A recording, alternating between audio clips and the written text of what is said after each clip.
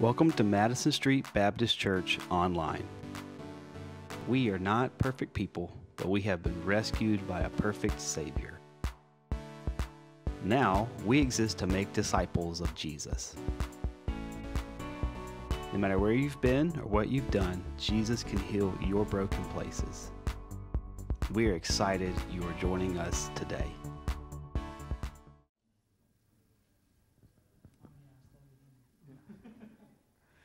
Good morning, everyone. Good to see you this morning. If you are visiting, we welcome you. Glad you're here. Uh, we're going to take and share just a few announcements with you. As you can see behind us, it's Youth Sunday. Uh, they let me be a part of Youth Sunday, so uh, that says a lot. Uh, but take your bulletin there, if you will. Just uh, want to share with you. Uh, again, Jonathan can answer some questions for you. If you're interested in being part of the choir, uh, if you'll see Jonathan, he can kind of give you some details on that and when they practice and what's going on. Uh, also, tomorrow evening, our evaluation team will be meeting. So, uh, those on the evaluation team, if you'll keep that in mind, uh, we'll be meeting tomorrow evening at 6 o'clock.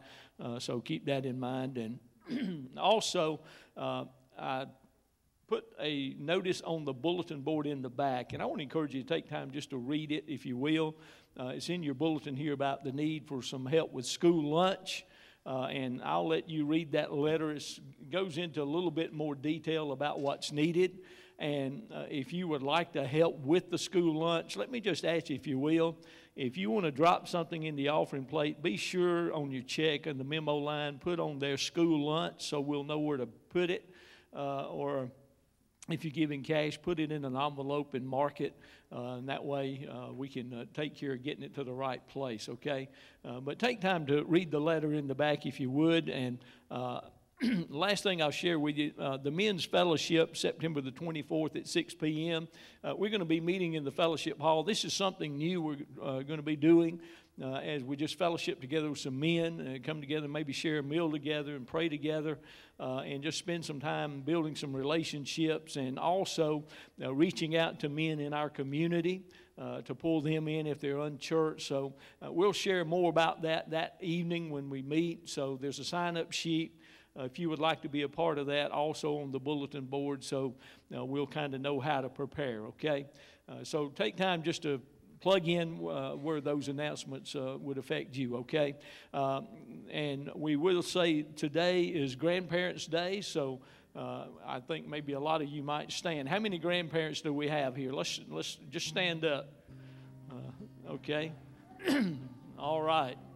You're a good looking group. Amen. Give yourself a hand today, okay? Uh, glad you're here. Glad you're here. All right. Let's pray together, okay? Uh, Father, we do thank you for today. We thank you for your blessings. And uh, God, we thank you for this day as the youth uh, lead us in worship. We thank you for each of them and for uh, Jonathan and uh, Lord, just what you're doing there. Uh, we just pray you continue to grow that group and minister to the hearts of these kids in a, in a special way. God, we thank you for them and their testimony of what they stand for. And Lord, we just pray you'd use them in a mighty way as a shining light in the schools and in the community here. Now, Lord, we ask you today as we worship together that the name of Jesus be glorified in all that is done, and we'll give you the praise for it. Lord, we ask your blessings for Jonathan as he uh, later shares your word. Now, Lord, just open our hearts and minds to receive what you have for us this day. For we ask it in Jesus' name. Amen. Amen. Brother JT, if you'll come and share God's word, okay?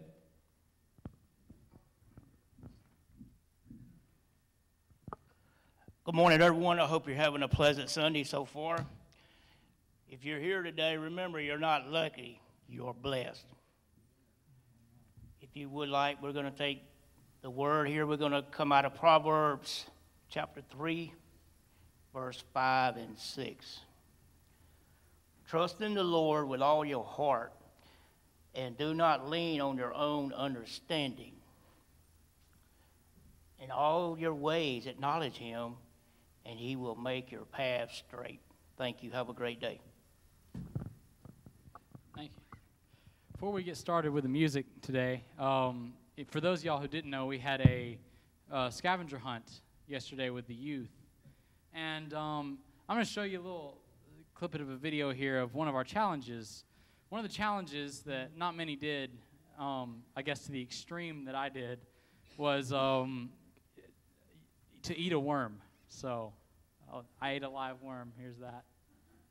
If you wiggle like this the whole way down, I'm gonna cry. Okay, I'm recording. Hurry up. Ew!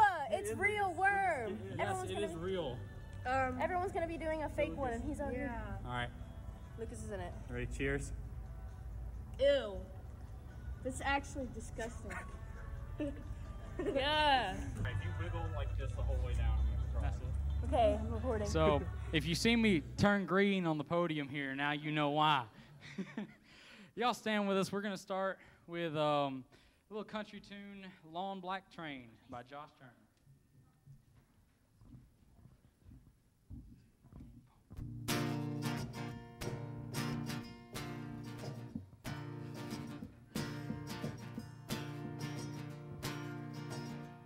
There's a long black train down the line, feeding off the souls that are lost and crying. Rails of sin, only evil remains. Watch out, brother, for that long black train. Look to the heavens, you can look to the skies. You can find redemption staring back into your eyes.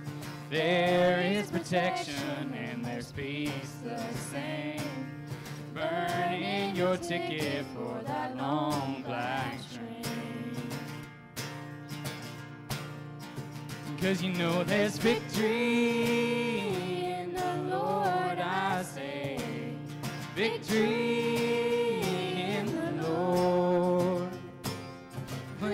to the Father and His holy name. And don't go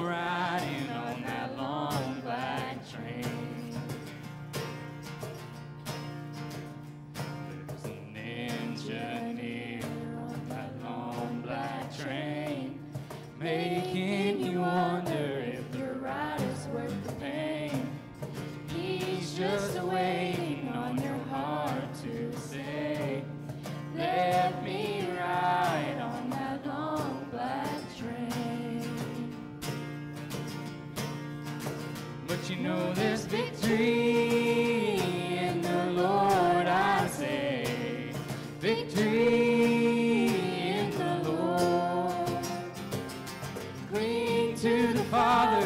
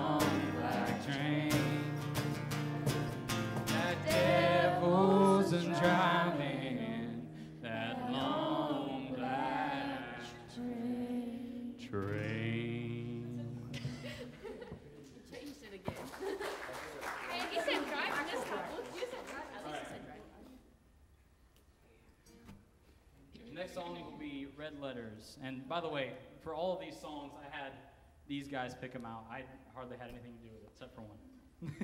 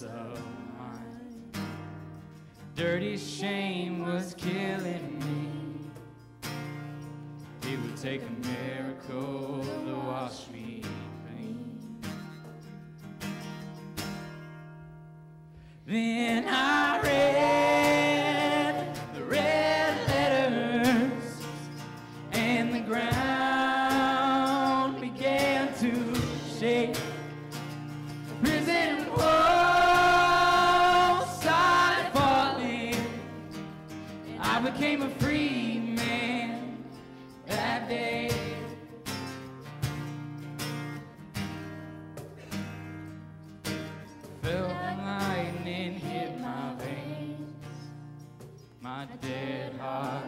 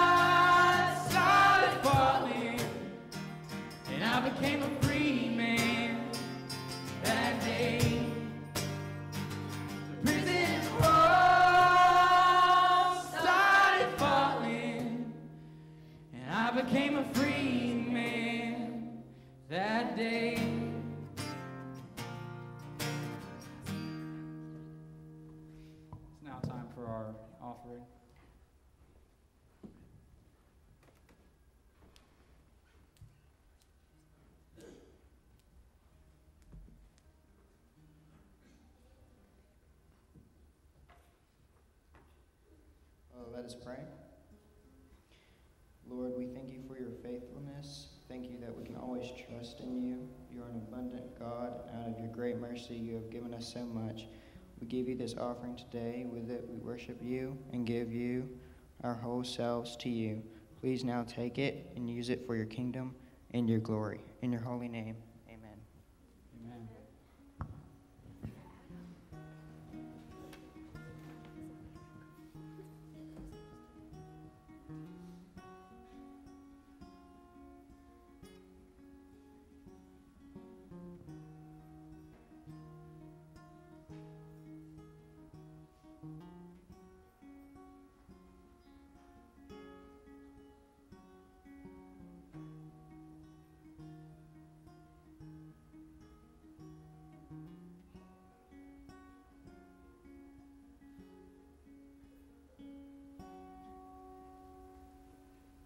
right, for our next song, y'all can remain seated for a bit. Um, for our next song, we're going to do um, Come Thou Fount.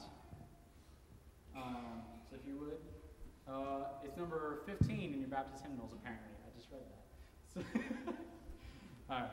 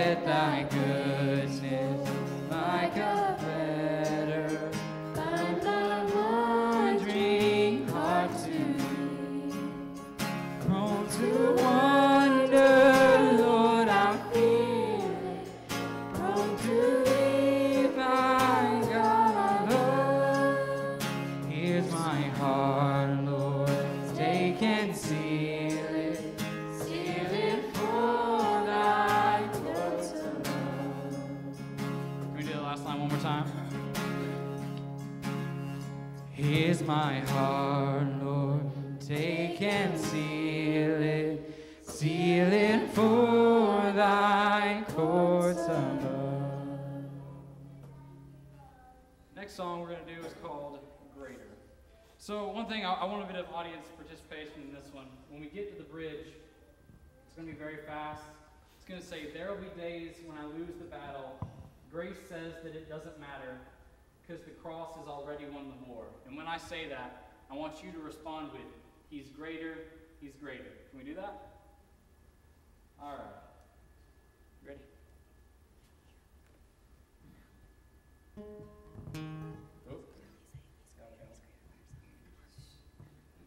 Bring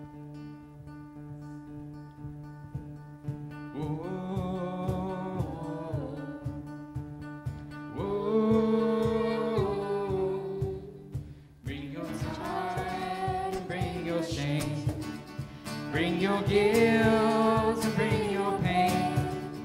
Don't you know that's not your name? You always much more to me. And every day I wrestle with the voices that keep telling me I'm not right. That's alright, cause I hear a voice and it calls me redeemed. When others say I'll never be enough.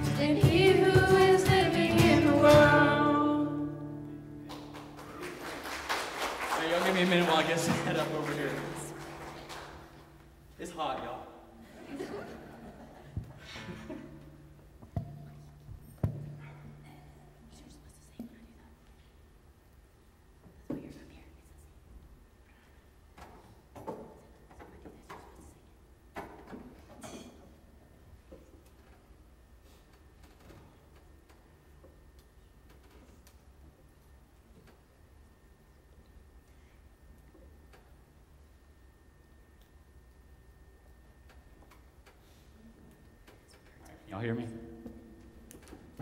Awesome. All right, the next song we're going to be doing is um, I Can Only Imagine. And I just, church, I want you to take a minute, just close your eyes and listen to this song,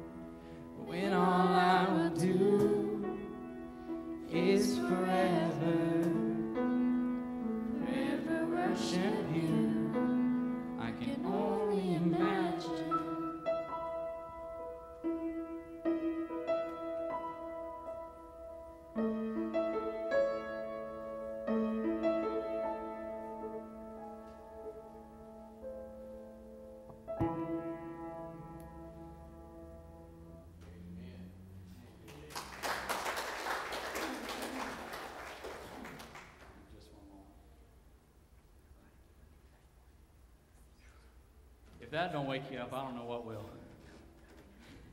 All right, our next song is Rescue by Lauren Daigle.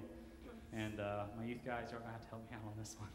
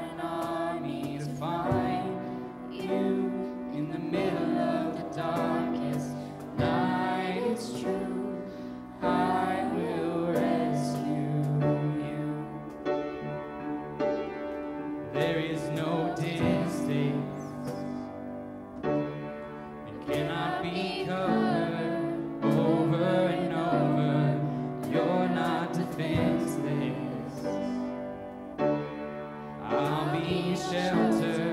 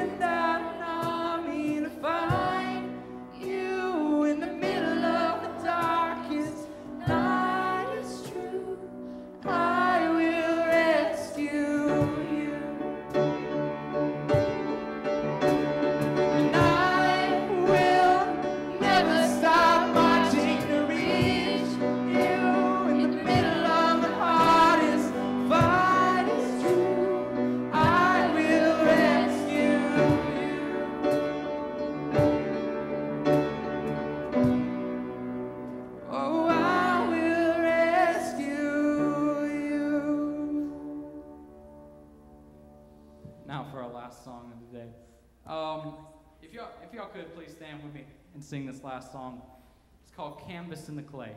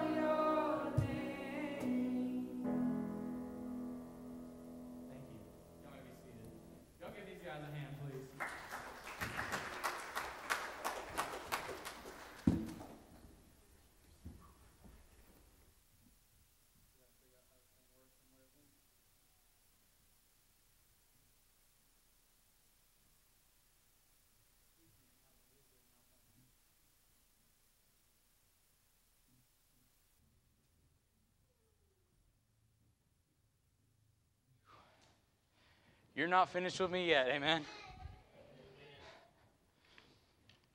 Now, give me one moment. You have to excuse me if I, I drink a lot during this. If I don't, I'm going to start sounding like this right here. well, good morning. Today, um, I want to talk to you about um, this day, 9 11. That'd be 21 years ago. I want to do a sermon on that. I have simply entitled, Let's Roll. So before we start, I want to um, kind of go over the events that happened that day, just so it's fresh in our mind and, you know, we can move on with that. So on the day of 9 11, 2001, at 845, one of the Twin Towers was attacked by a Boeing 767. 18 minutes later, a second Boeing 767 hit the other building. Flight 77 crashed inside of the Pentagon at 9:45 a.m. Some, sometime during this, Flight 93 was hijacked and then hijacked back by the passengers, causing a fatal crash. The total number of deaths coming up to 2,996. Church, I don't want that to discourage you, so let me, let me start with my first point, which is God will protect us. And I just realized I never did convert these. So the what's up on the board and what I may be reading may be a different version. I am sorry. But I want to start in Isaiah 66 9, where it says, I will not cause pain without allowing something new to be born, says the Lord. Church, even when we don't see it yet, God provides.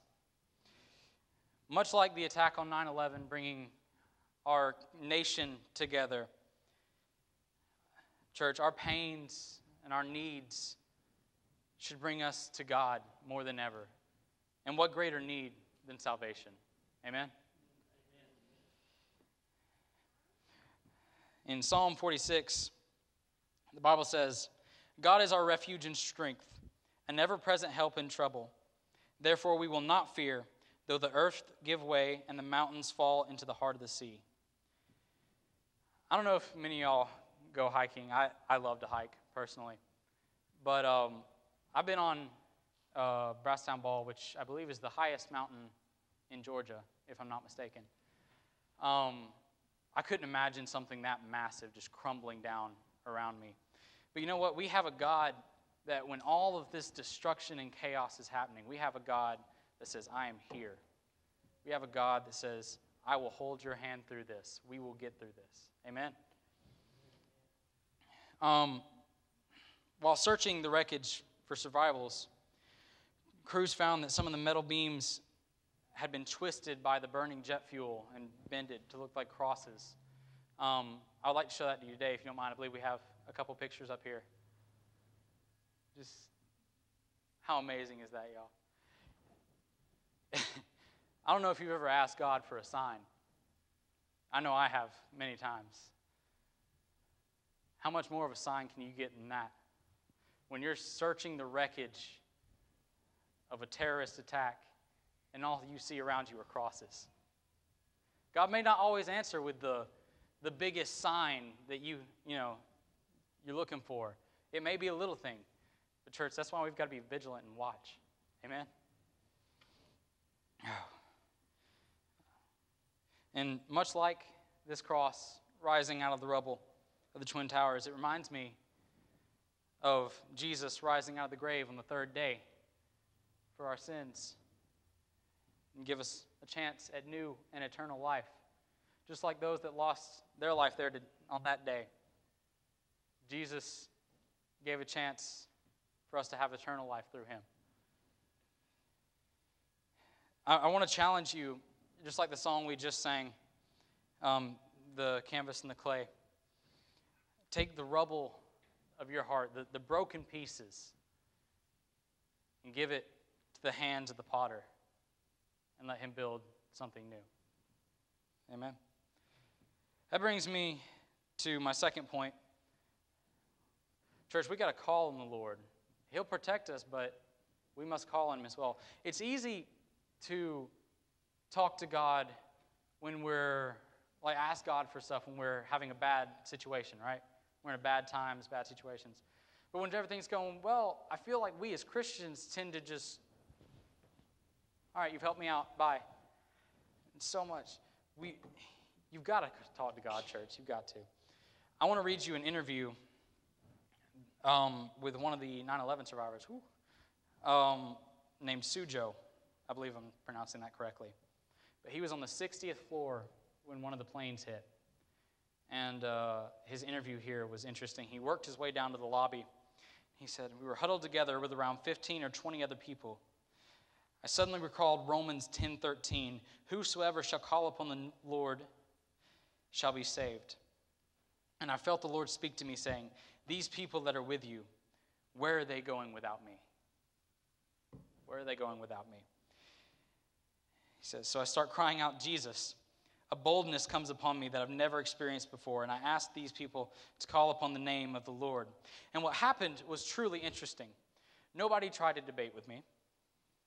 No, nobody tried to debate with me. Nobody called upon any other God and tried any other form of religion or faith. And he says, How could they? The Bible that I believe says that there is only one name under all of heaven and earth by which we can be saved, and that is the sweet, matchless name of Jesus. Amen. That's just amazing to me, church. Out of like 20 people, not one of them called on another God. Because, church, we have the, we have the, the joy of being able to have a relationship with our God. Because that's what Christianity is. Christianity isn't just a religion, it's a relationship with God. Amen? I want to read you John 16 33. I have told you these things so that in me you may have peace. In this world you will have trouble, but take heart, I have overcome the world. Take heart, I have overcome the world. I've, I gave a lesson quite a while back to the youth here, talking about how, um, as Christians, Christians, I don't think, should live the easy life. We, we don't live the easy life. Life is going to be hard for us, right? But in that hardship, we can find contentment in God. We can find contentment in God. I want to move on to Lamentations 3:55. I called on your name, O Lord, out of the lowest pit. Have you ever felt like you were in a pit? That you were at the lowest point in your life? Maybe it was you couldn't pay the bills that month. Maybe you were in a new place, didn't know anybody. Isn't it good to know that even at that lowest point, God says, I am here. All you've got to do is ask. Amen. That's the kind of God we serve. Moving on with this uh, same theme Psalm 105:1. Oh, give thanks to the Lord, call upon his name, make known his deeds among the people. Church, if God has done something for you, I feel like it, it's almost a crime not to share it. Because who are we to be selfish and keep our God to ourselves? You know? Who are we be selfish, selfish and keep our God to ourselves? Which um, told y'all that was this is going to be pretty quick. I'm actually coming near the end now. But um, I want to end this um, talking about Flight 93, the one that was hijacked back by the passengers and crashed. It was believed to be going to the, um, the White House, but it crashed in a field, killing all on board. One of the passengers of Flight 93, Thomas Burnett Jr., told his wife over the phone that, I know we're all going to die. There's three of us who are going to do something about it. I love you, honey. Another passenger, Todd Beamer, was heard saying, Are you guys ready? Are you ready? Let's roll. Let's roll, church. Church, are you ready? Because it's time to roll. We can't sit and do nothing as the world around us is crashing down and nobody knows who Jesus is. Nobody knows who Jesus is. So, as I get ready to play invitation, I want you to picture someone you know that is not saved or does not know the love of Jesus Christ. It can be a coworker, it can be the waitress where you're about to go to lunch at, it can be a family member, it could even be you. And I want, I want you to ask yourself if tomorrow never came, do you know that you know that you know where they're going? Amen. Let's pray. Father, I want to thank you so much for all that you've done for us, God, that you are there when others are not, God, that you are there in the middle of the storm, God. And Lord, I want to pray if there's someone here that doesn't know you today, they would come forth to the altar and just profess it, God. Thank you so much. Amen. If you want to transfer a letter, or if you just want to come up here and confess your, your faith to Christ, please feel more than welcome to. If you'll give me a minute, sorry.